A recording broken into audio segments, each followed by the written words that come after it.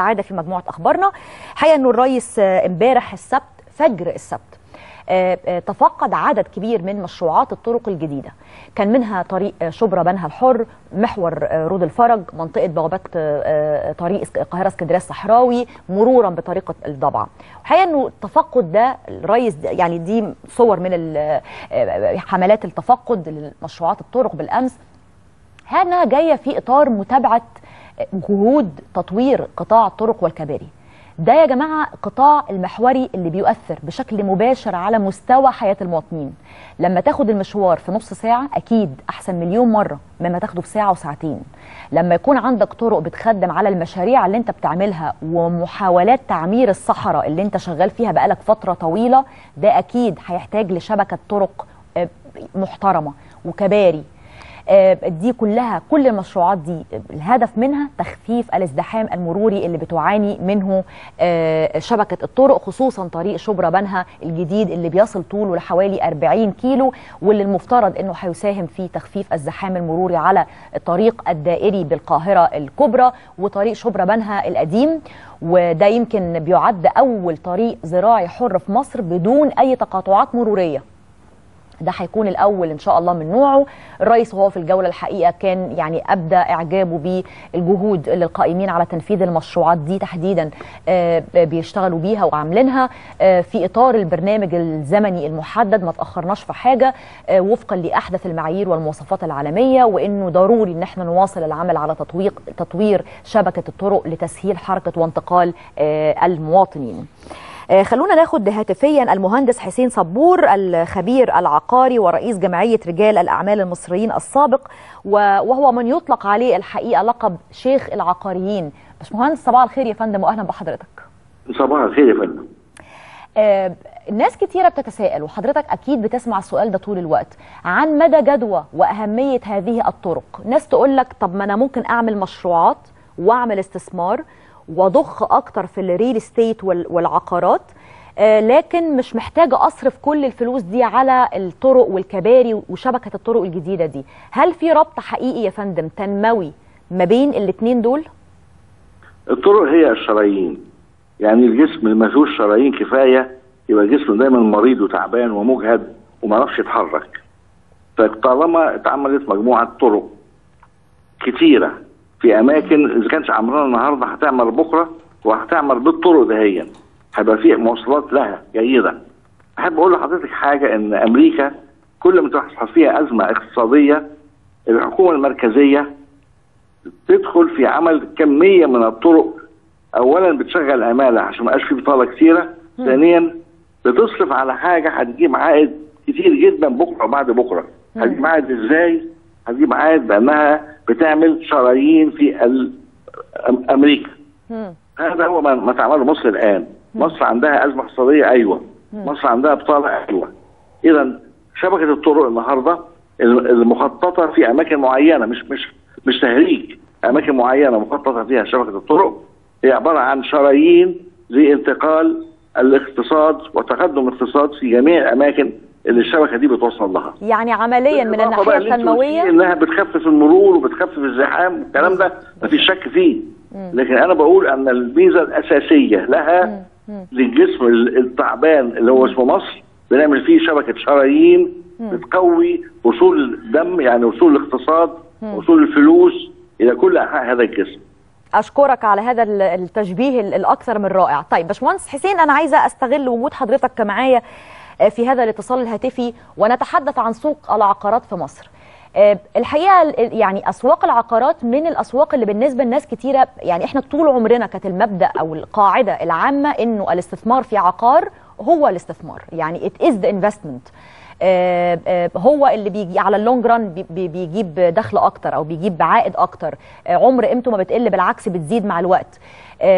لكن الحقيقة في يعني مع كل المشاريع والكومباوندز الجديدة اللي في كل حتة في مصر دلوقتي بقينا بنسمع عنها ربما الناس بقت مش عارفة قوي هل ما زال سوق العقارات يمثل الاستثمار الأهم بالنسبة حتى للمواطن العادي اللي بيفكر إزاي يأمن مستقبل ولاده مثلا؟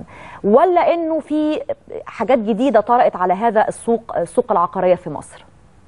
ارد على حضرتك.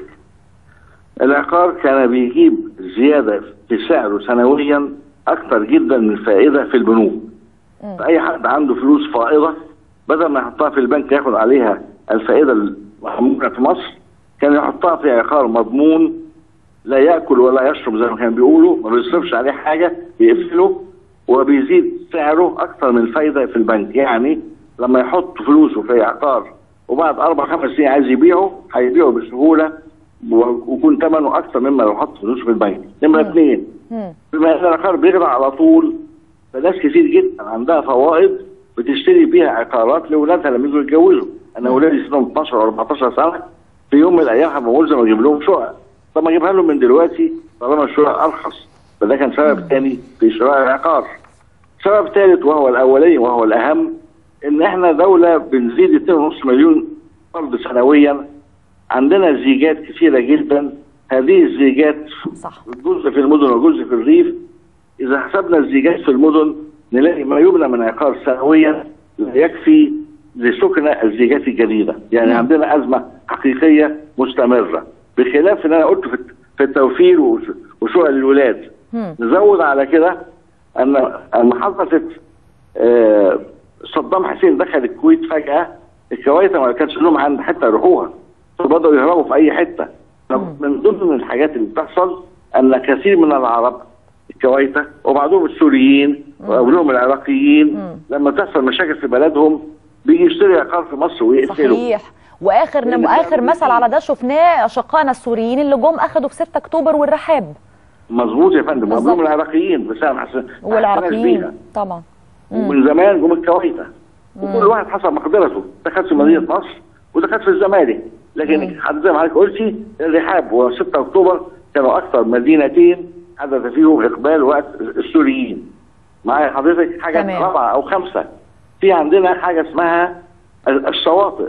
عندنا شواطئ جميلة جدا فيها عق- عقارات بتتبني إما في الساحل الشمالي وإما في الغردقة وغيرها. دي أيضا نقطة جذب للمصريين في الخارج أو الغير مصريين العرب.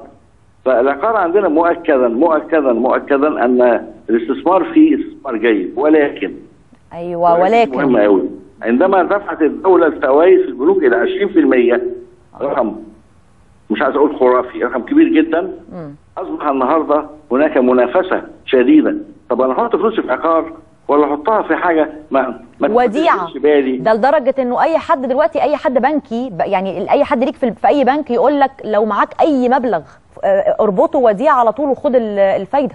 مظبوط. بالظبط. بالإضافة. إلى أن زي ما قلت لحضرتك العقار لا ياكل ولا يشرب مفيش ح- أي ض- ح- لكن هتبتدي تتعمل عليه ضرائب عقارية. الدولة برضو محقة لأنها ما تسيبش ال- ال- الناس كده هايجه وساكتة. لا. ما دام أنت بتكسب في العقار بتاعك الدولة لها حق عندك.